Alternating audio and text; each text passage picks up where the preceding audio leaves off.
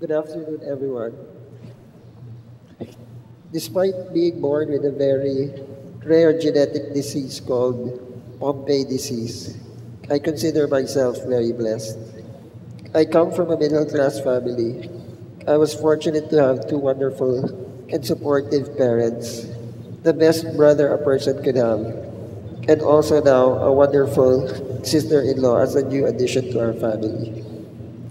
Throughout my 20 something years of battling this disease, my family has loved, supported, and cared for me.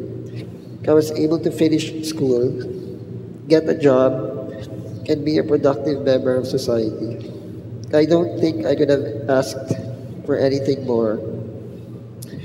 From my immediate family all the way to my extended family and friends, I've always felt loved and accepted.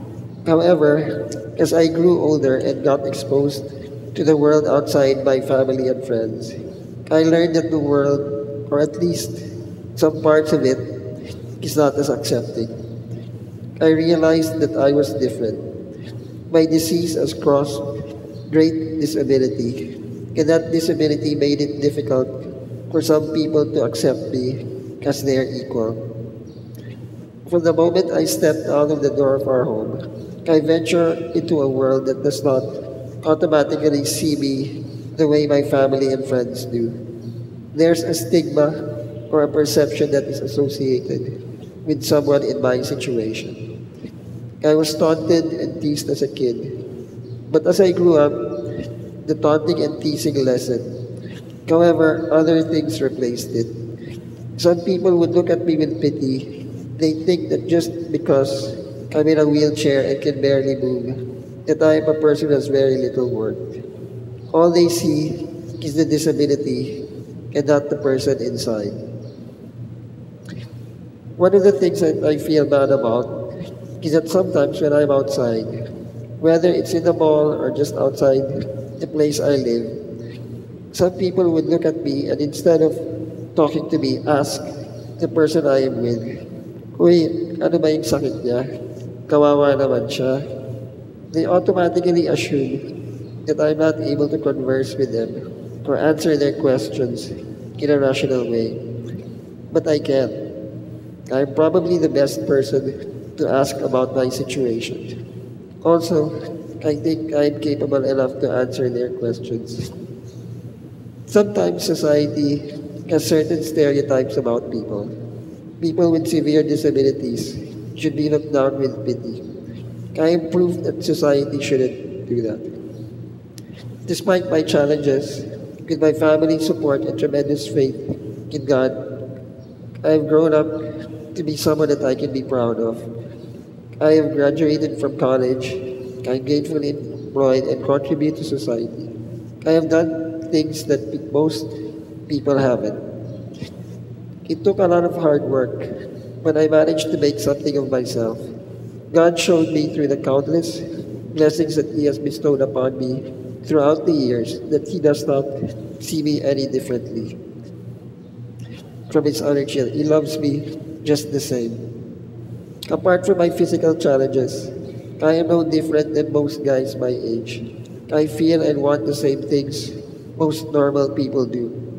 I want to be a productive member of society I want to be a good Christian. I want to love and be loved. And hopefully someday to have a family as well. I want to make a difference in other people's lives. I want to grow old and during my final moments in this world, say to myself that I have lived a life worth living. I know that, like other people, we all have things we want in life. I know and I accepted it as such. But like most people, all I ask is the opportunity to try and pursue my dreams. In some ways, parts of society right now are like the soldiers who gave Christ sour and cheap wine, because he yearned to satisfy his thirst while carrying the cross. Some parts of society treat people such as myself as those soldiers treated Christ by offering them half-hearted gestures. I look forward to the day wherein our society doesn't look at a person such as myself and see his or her disability. Instead, society looks at him and her and sees the person for what he or she truly is a gift from God who deserves the same respect and love like everyone else. I look forward to the day wherein society treats us as equals and offers us not cheap wine, but the same wine that they would have for themselves. Our lives are as valuable as anyone else. It might not be apparent from the surface, but when we look past the shortcomings, you will see the true value that is in everyone. Each person has a unique gift that is his alone. No two people are alike. Each one of us carries a beauty that is all our own. I am not alone. There are countless of people such as myself who either suffer from a genetic disease or something else that has changed their lives. People who walk this earth a little different from most. We all want to be accepted. We all thirst for love and empathy as we would give others. We ask not to be treated special, but to be treated as equitably. We understand we are different.